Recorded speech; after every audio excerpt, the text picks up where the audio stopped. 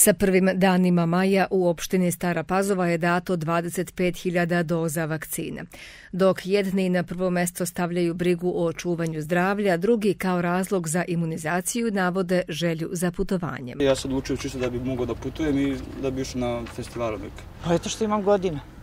65 i onda red je da sačuvam zdravlje koliko toliko. Ja sam, da kažem, imao tri smrta slučajeva u porodici od COVID-a, tako da nema šta treba da se vakcinišu ljudi. Mislim da je to jedini način da sprečimo ovu pandemiju i to je to. Dobar deo starijih sugrađana kao i hronični bolesnici su vakcinisani, a sada i mlađi dobijaju pozive od e-uprave.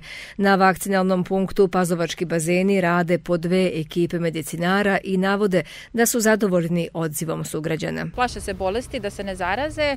Najčešća pitanja su ovaj, s kojim vakcinom će moći najbezbednije da putuju, to je što se tiče mlađih, a stariji njima je najbitnije koja je najbezbednija vakcina, s kojim će najbolje steći imunitet.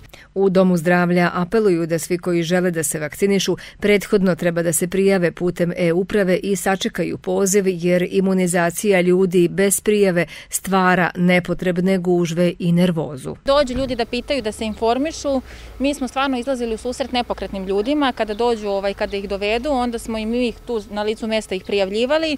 Mada svakako je bolje da ovaj, sačekaju svoj poziv, dođu u svoje zakazano vreme, ne čekaju, onda nema, tako se ne stvaraju gužve, lakše i njima, lakše i nama. U Staropazovačkoj opštini do sada su na raspolaganju bile vakcine Sinopharm, Sputnik, Pfizer i AstraZeneca, a prema evidenciji Doma zdravlja, sugrađani su se najčešće odlučivali za kinesku Sinopharm vakcinu, na drugom mestu je ruska Sputnik V, dok se mlađi odlučuju za vakcinu proizvođača Pfizer-BioNTech. Počeo je i proces revakcinacije po mesnim zajednicama pacijenata kojima je bilo teško da dolaze do bazena i koji su u svojim mestima vakcinisani pre tri nedelje.